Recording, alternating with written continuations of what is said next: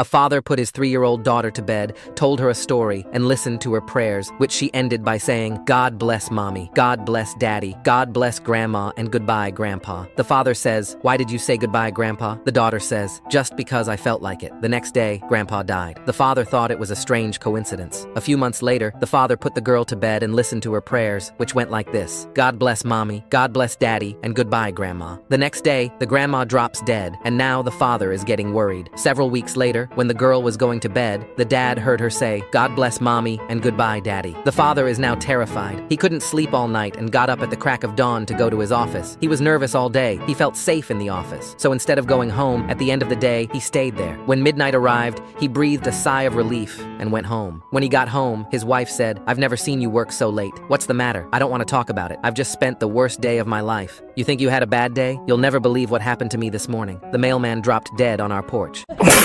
Gracias.